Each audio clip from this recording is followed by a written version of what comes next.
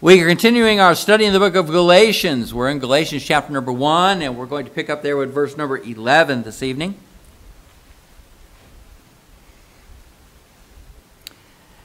The Apostle Paul begins his defense of the Word of God and the gospel of Christ to the false teachers, the Judaizers, and to the church at Galatia,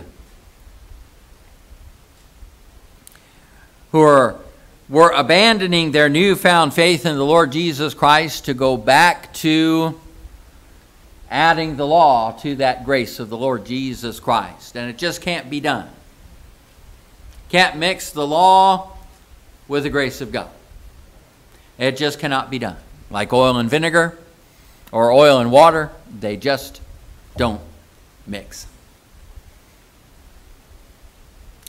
And Paul was working to persuade these Galatians to be able to continue to stand in the faith and in the liberty that they had in knowing Jesus Christ as a personal Savior.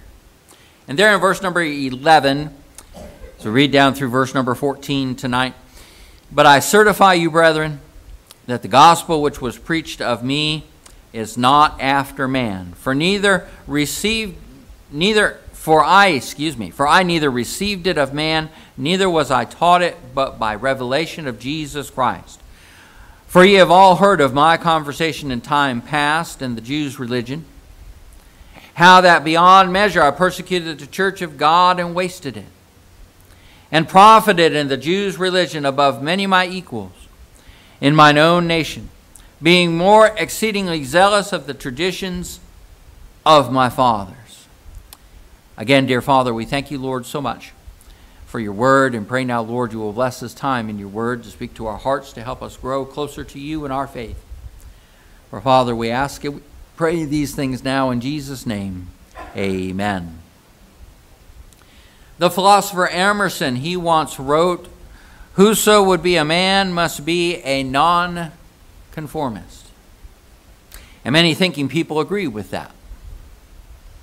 The English art critic John Ruskin, he once said, I fear uniformity. You cannot manufacture great men any more than you can manufacture gold. I think that's a true statement, too. The German philosopher Schopenhauer, probably crucified that, but that's okay. He wrote, We forfeit, we forfeit three fourths of ourselves in order to live like other people. Francis Albee, the first bishop of the United Methodist Church in the United States, once prayed at a deacon's ordination, O Lord, grant that these brethren may never want to be like other people. Of course, being a nonconformist as a believer in Christ can be a good thing. But there is nonconformity that can be rather bad and have severe consequences. There is a wrong kind of individualism that destroys instead of fulfills. But in a society like ours that is accustomed to interchanging parts, it's good to meet someone like Paul who dared to be himself in the will of God. I am that I am, Paul said. But his freedom in Christ was a threat to those who found safety in conformity. And people who stand out challenge those who live a conformist life. Our former President Donald Trump is an example of that. He's a nonconformist. No matter what you think about him, his politics, his policies, or anything like that, the man's just different. He doesn't play by the same rules, he doesn't go by the same norms. He's a completely different animal. And that's why the political conformists are afraid of him because he does stand out, because he is different.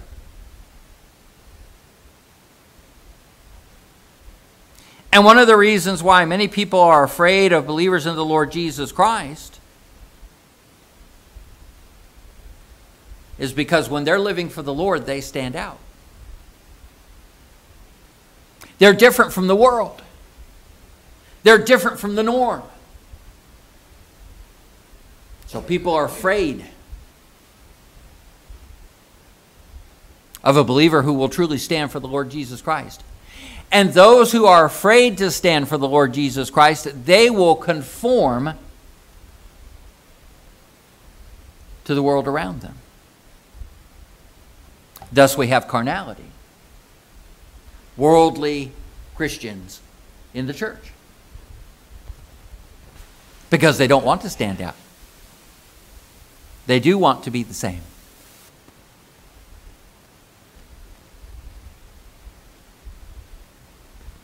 Paul's enemies pointed out to Paul's pointed to Paul's nonconformity as proof that his message and his ministry were not really of God. Their argument was that he claims to be an apostle, but he does not stand in the apostolic tradition.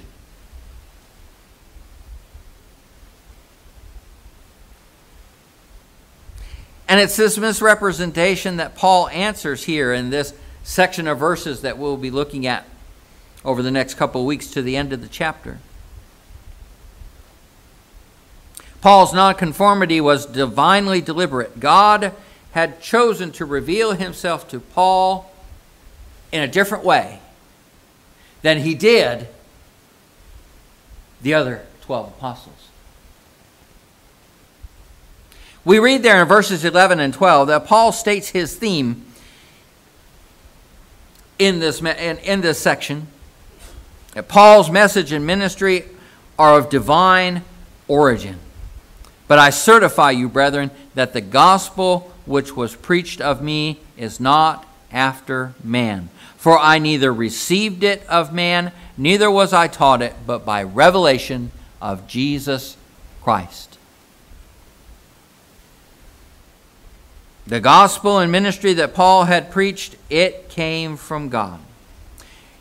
He didn't invent the gospel, nor did he receive the gospel from the other apostles or from men. He received the gospel directly from Jesus Christ, as he will show proof of in later verses here in chapter 1.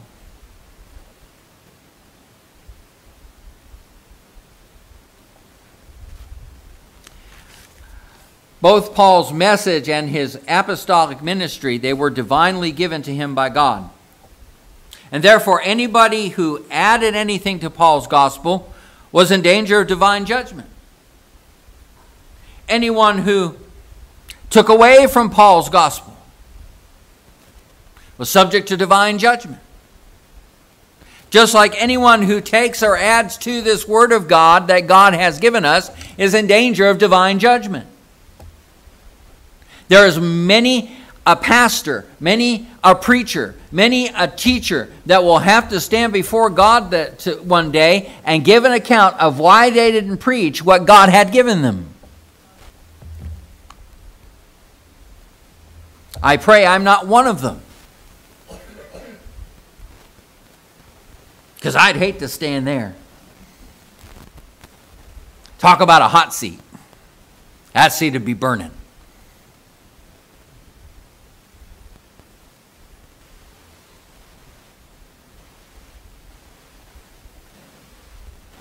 The gospel was given to the Apostle Paul by the Lord Jesus Christ from heaven. We find in, in 1 Corinthians chapter 15 that Paul tells this to the Corinthian church. There in verse number 1 of 1 Corinthians chapter 15.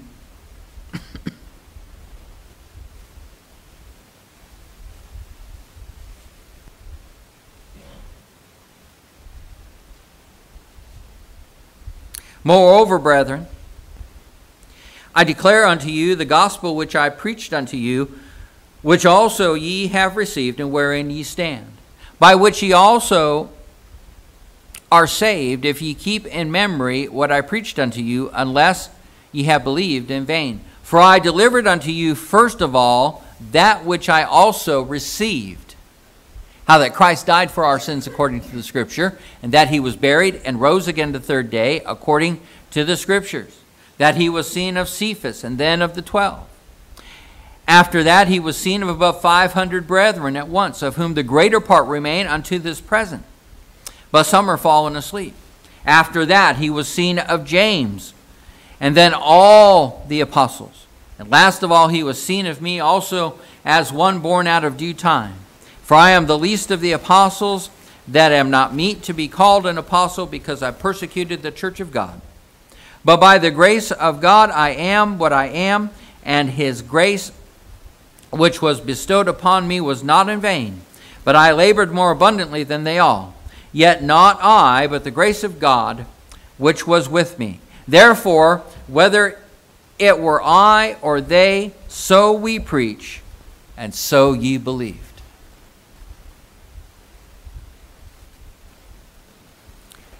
The Apostle Paul preached what he had received, received of God. And the best way for Paul to be able to prove this point and to be able to prove this argument was to reach back into his past to remind the believers there in Galatia of the way that God had dealt with him. Paul states that his past life was already known by his readers. We read there in verse number 13, the first part of verse 13 in our text. For ye have heard of my conversation in time past in the Jews' religion. So they had heard of this Jew who was known then as Saul of Tarsus. His reputation and his acts. So, this is a pretty good argument to be able to use. But it was obvious that they didn't fully understand what those experiences meant. So, Paul, so Paul flashes on the screen, if you will, three pictures of his past as evidence that his apostleship and his gospel are truly of God. And the first picture we'll start to look at this evening is that of Paul the persecutor that we read in verses 13 and 14. Paul stated here with his past conduct as an unconverted Jewish rabbi that he was, as Saul of Tarsus. He recounts this when he gives his personal testimony to Felix or Festus, one of those two, and to King Agrippa in Acts chapter 22 and in Acts chapter 26. And we also see that in his conversion story in Acts chapter 9. And we'll get to some of those verses here in a little while. It gives there a vivid account of these years from the Apostle Paul's mouth himself. In this historic flashback, Paul points out his relationship to the church there in verse number 13, how he persecuted the church of God and wasted it. And he also and he also speaks about his relationship to the Jewish religion in verse number 14 and profited in the Jews' religion above many mine equals in mine own nation being more exceedingly zealous of the traditions of my fathers. Paul was persecuting the church and profiting and progressing in the Jewish religion. Everything was going his way, if you will. And Paul was being recognized as a spiritual leader in the nation of Israel and among the Jewish rabbis. It's interesting to note here the words that are used to describe the Apostle Paul's activities. When Paul was known as Saul of Tarsus, persecuting the church. In Acts chapter 8 and verse number 1, he consented to the murder of Stephen, it says there as Stephen was stoned in Acts chapter 7. for his testimony of the gospel. And Paul consented to that murder. And then in verse number 3 in Acts chapter 8, the Bible says that he proceeded to make havoc of the church. He caused chaos in the church and in the Christian faith by his going to arrest Christians, to have them thrown in jail, to have them persecuted for their faith.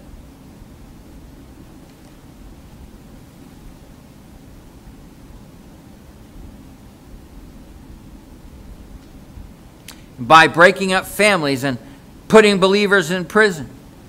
The very atmosphere that he breathed threatenings and slaughter in Acts chapter 9 and verse 1 as he was headed to Damascus.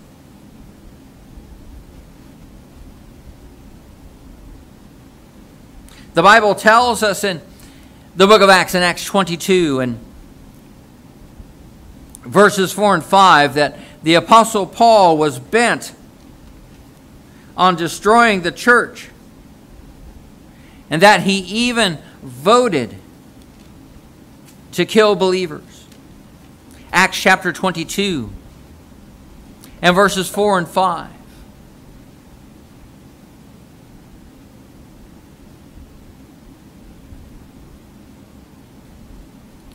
And I persecuted this way, meaning the way of Christianity, unto the death, binding and delivering into prison both men and women. As also the high priest doth bear me witness, and all the estimate of the and all the estate of the elders, from whom also I received letters unto the brethren, and went to Damascus to bring them which were bound unto Jerusalem for to be punished in Acts chapter 26 and verse number 9. As he gives his testimony there to King Agrippa.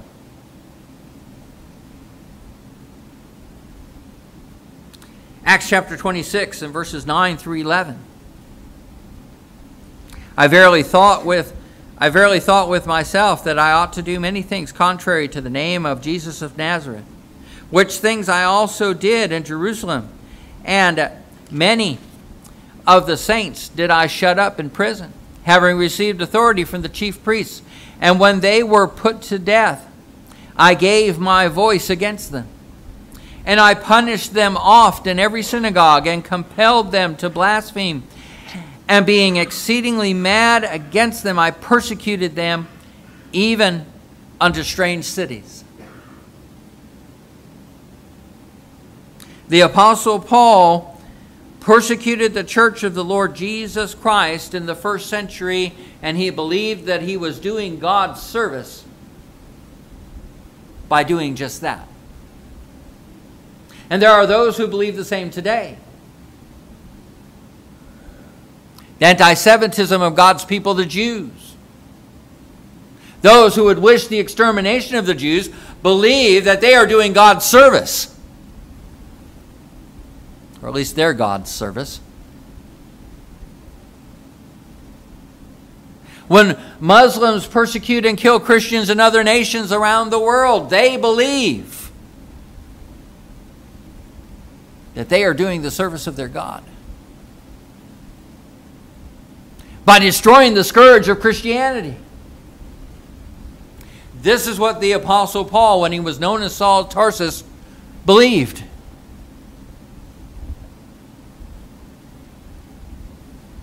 Paul mentions these facts in his letters as well, as we read in 1 Corinthians chapter 15 and verse 9. He mentions it again in Philippians chapter 3 and verse 6 and 1 Timothy chapter 1 and verse 13. And as he states these facts there in other letters, he's, he marvels that God could save such a sinner, such a man. As the Apostle Paul.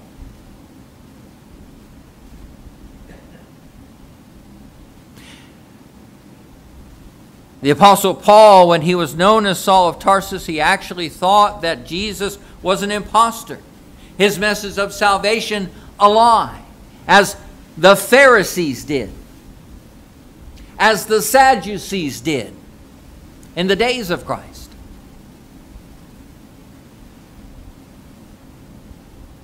He was sure that God had spoken through Moses, but how could he be sure that God had spoken through Jesus of Nazareth?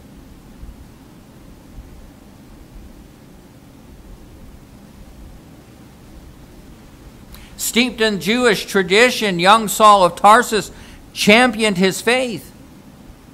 His reputation as a zealous persecutor of the sect of the Nazarenes became known to people far and wide.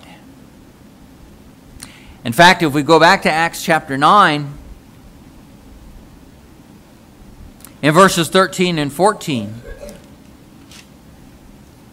after Paul, after Saul had seen Christ on the Damascus road and was brought into the city of Damascus, blinded by that light that he had seen. God instructs a believer there named Ananias. He calls Ananias to go in verse 11 to a street which is called Straight and inquire in the house of Judas of one called Saul of Tarsus, for behold, he prayeth. And he hath seen a vision of a man named Ananias coming in and putting his hand on him that he may receive his sight. Ananias' response there in verse number 13 is this then, I, then Ananias answered, Lord, I have heard by many of this man how much evil he hath done to thy saints at Jerusalem. And here he hath authority from the chief priests to bind all that call on thy name.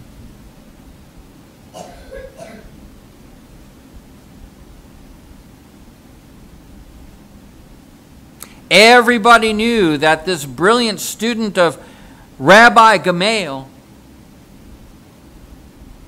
was well on his way to becoming an influential leader in the Jewish faith. He was on the fast track of becoming very influential. The other rabbis of the Jewish faith.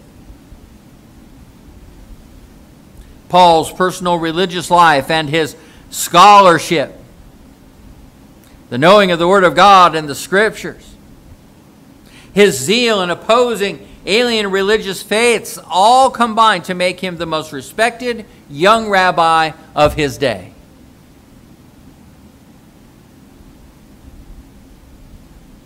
But then something happened.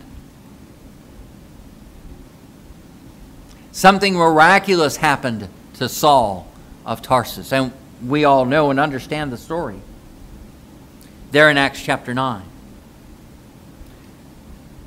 Saul of Tarsus, the persecutor of the church, became Paul the apostle and preacher of the gospel. And this wasn't a gradual process that Paul went through. It happened in a moment.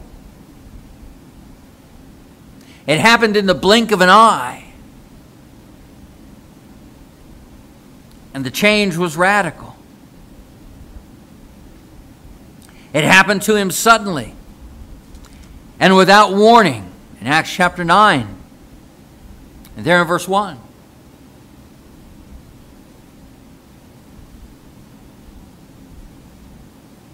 And Saul, yet breathing out threatenings and slaughter against the disciples of the Lord, went unto the high priest and desired of him letters to Damascus, to the synagogues, that if he found any of this way, the way of Christianity, the way of Christ, whether they were men or women, he might bring them bound unto Jerusalem.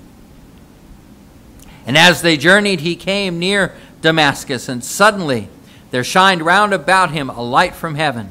And he fell to the earth and heard a voice saying unto him, Saul, Saul, why persecutest thou me? And he said, Who art thou, Lord? And the Lord said, I am Jesus, whom thou persecutest. It is hard for thee to kick against the pricks. And he, trembling and astonished, said, Lord, what wilt thou have me to do? And the Lord said, and the Lord said unto him, Arise and go into the city, and it shall be told thee what thou must do. And the men which journeyed with him stood speechless, hearing a voice, but seeing no man. And Saul arose from the earth, and when his eyes were opened, he saw no man, but they led him by the hand and brought him into Damascus. He was there three days without sight, and neither did eat nor drink. Saul was on the way to Damascus to per- persecute the believers.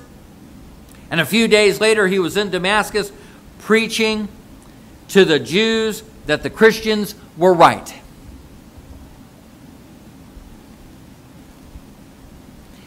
How could the Judaizers explain this sudden transformation?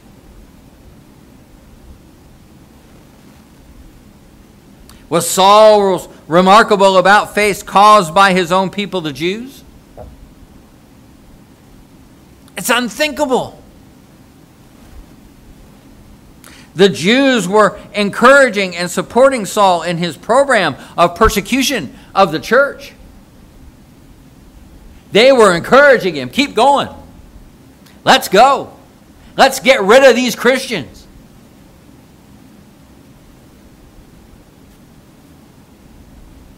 Let's stamp out this Christianity once and for all.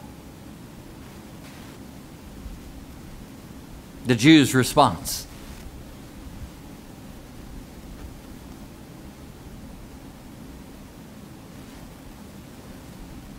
And his conversion would be a great embarrassment to the Jews. Remember, Saul of Tarsus, he was on the fast track. He was going to be the next great Jewish rabbi. And now he's preaching the gospel of Jesus Christ and he's a Christian? How embarrassing is that?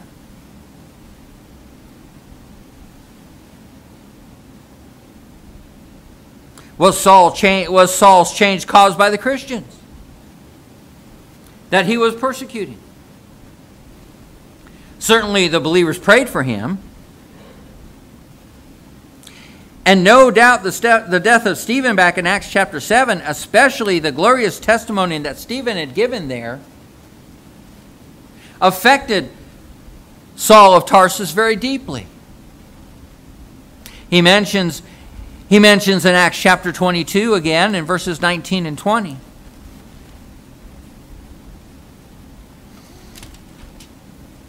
In Acts chapter 22 and verses 19 and 20.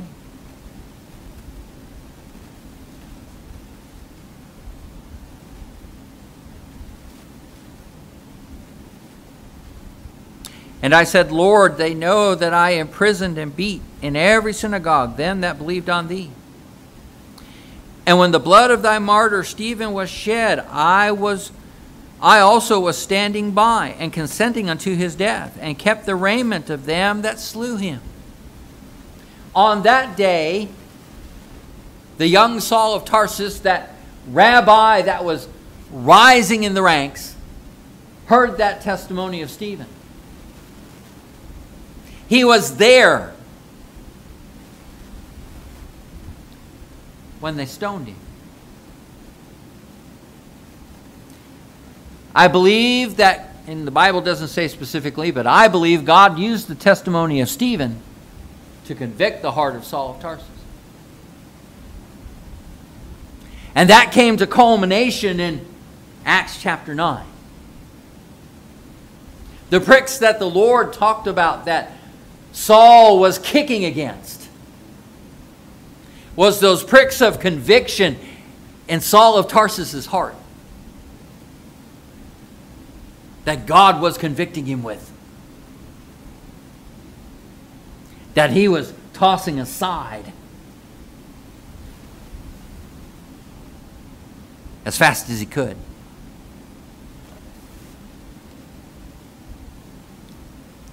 Stephen's testimony had affected, had affected Paul deeply, but Christians ran from the Apostle Paul. Even in Acts chapter 9 and verses 10 through 16, they were skeptical that this Saul of Tarsus was even truly saved. No, he's not saved. He's just faking it so that he can get more Christians to persecute and throw more Christians in jail and have more Christians killed.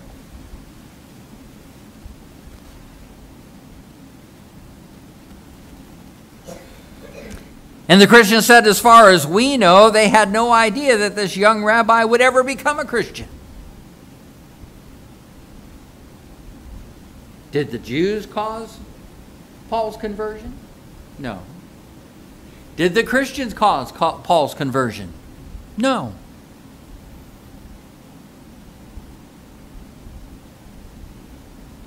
So if the amazing change in Paul wasn't caused by the Jews of the church,